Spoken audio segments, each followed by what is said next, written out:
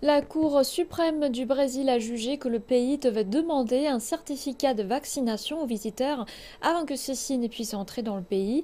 Le juge à la Cour suprême Louis Roberto Barroso a déclaré que cette exigence ne pouvait être levée que pour des voyageurs d'un pays dans lequel aucun vaccin n'est disponible ou bien pour les personnes dans l'incapacité de se faire vacciner pour des raisons de santé.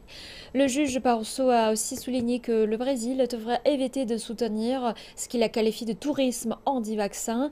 Cette décision de la Cour suprême intervient alors que le président Jair Bolsonaro a plusieurs reprises rejeté les demandes de l'organisme d'État de réglementation en matière de santé d'exiger une preuve de vaccination aux visiteurs.